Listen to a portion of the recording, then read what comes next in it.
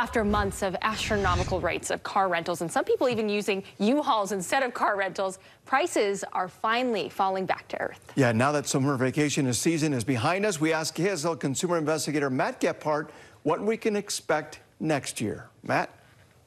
They call it the rental car apocalypse. There were so few rentals that prices to rent a car went through the roof. Well, there is still a shortage of new cars rolling off the line, but the KSL investigators found the price for rental cars has come way, way down.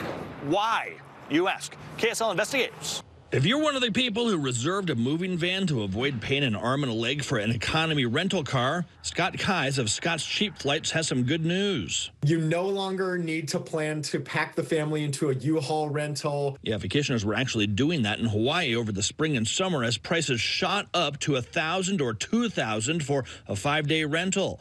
Rental rates were sky high all over the country.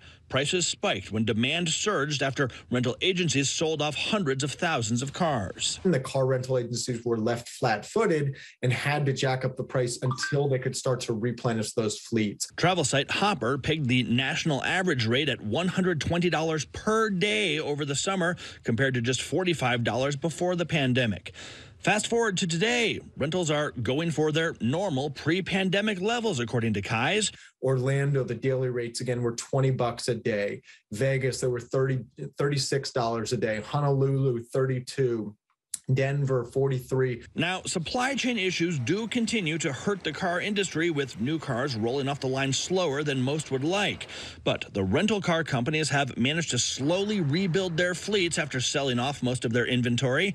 Because of that, Keyes believes the eye-popping wallet gouging rates will not make a comeback. It's going to uh, stay a, a little bit more stable a little bit more predictable, and that's going to prevent the types of wild price swings that we saw in car rental prices earlier this year. And remember, with rental cars, there's usually not a penalty if you cancel and rebook. So after you've booked a rental car, it makes sense to go back and check those rates over and over again to see if prices have come down.